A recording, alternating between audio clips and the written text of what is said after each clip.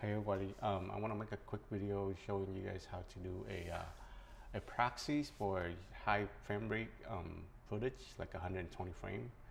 Um, I know the Sony a7S III can shoot 120 frame 4K, um, and then most of the computer cannot handle the, the, the, footage when you edit it. As you can see right here, when I drag into here, it's really choppy. It's you know, it's not smooth. You would as you can see, these footage is 120 frames per second, and they are in 4K. And I shot this in S-Log 3 with 10-bit uh, color, so the footage is really, you know, it's not most people, most computer cannot handle this. So I will show you how to do it. What you need to do first is open media encoder. First thing you need to do is create a encoding preset.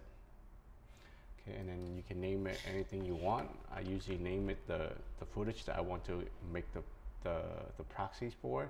So this is uh, 120 FPS, 4K, 10 bit. And at the end, I would name it encode. So I know there's two different that you need to do, the encode and the ingest. So this is the encoding. And then next you need to choose the HEVC.X265 codec. You leave everything the same here and here you need to change this. I usually do 720p. If you leave this checked, then when you change this, this is automatic change. So it, it keep the aspect ratio of the video. And the frame rate, so you still leave this check. What it is, is based on source. So your, your original footage is 120 frame. So we'll keep, keep it the same as 120 frame. Uh, and then the aspect ratio, keep it the same. And then the next thing that you need to do is I usually go down and change the bitrate setting. I choose six, uh, and the quality, I leave it on good. Uh, you can play around with this. Um, basically, this is uh, how much, you know, how big the file and how compressed the, I think the, the footage so your computer can handle it. Um, this worked for my computer, so I just choose this. So you can play around with it and then change the settings up to your liking, up to your computer spec. Everything the same there, and then I just click OK. Okay, and the next thing what you need to do is create another preset. This one is called ingest preset.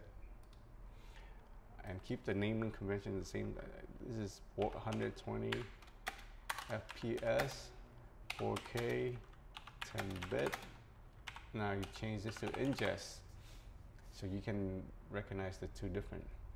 And then uh, you don't need to worry about this. You can need to check this. And now you need to use the H.265. When you choose the H.265, it will automatically uh, choose the preset that you made earlier, the encoding preset. And you don't need to check this what you need to do is check her here, this destination. Like I said, this destination folder is not really important. Uh, you can choose any folder you want. Just click OK. And then so you make sure it's .h265, 120 FPS, the encoding that you that you make earlier, and then click OK. Now, so you have those two. Okay, after that, what you need to do is you need to export these two um, preset, actually you only need to export this ingest preset. You select it, you click this button, and then you save it to the, the places that, that you want to save it. Make sure in the folder you know where it is. I already have it here. So I'm not going to do that, but you can, you can just save it. I, I export out the, the encoding also and the ingest because I want to give it to you guys um, the file on the on the link in the in the description so you guys can. I mean, I export both of them out so I can uh, if you if anybody want this, I can have it in the link in the description so you guys can download it. But for you, uh, just yeah, export it to any folder that you want, and make sure that you know where it is because so you, you need to find it later.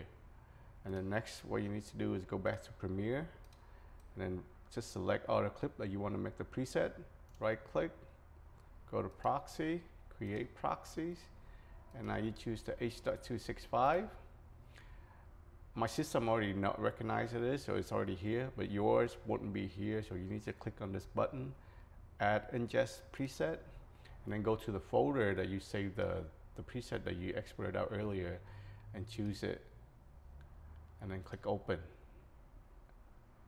Uh, mine, because it's the override right here, but uh, go back to H.265, so right there. So after you do that, we'll go back to the screen right here. And then here, this is what I'm talking about earlier. You can have the option of choosing to save it to a different folder, but I usually don't do that. I recommend keep it next to the original media folder and it will create a proxy folder within that folder. So all your footage will link together.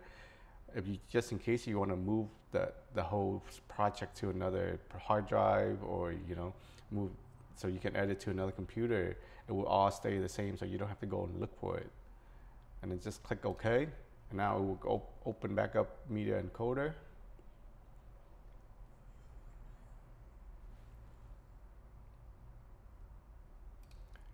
See now go here and basically it's just gonna do the encoding. I will uh, skip this part when it's done. So um, I just do one clip. Now you, as you can see, you drag it on to, to the timeline. And now you, see, you play it back. It's really jerky, so you don't want to play it right. Now when you turn on the proxy,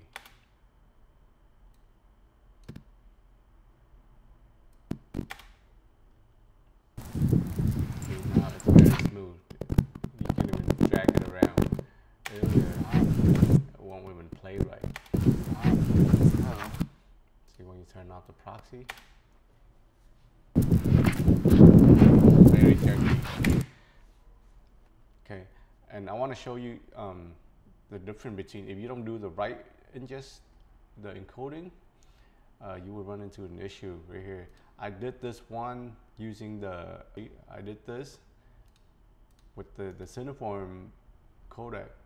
Uh, let me see, right click, proxies.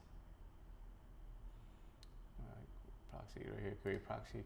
I did, I, I, just did one just to show you guys the difference. This is the Cineform um, preset that, that I use for any uh, footage, um, like 60 frame and below.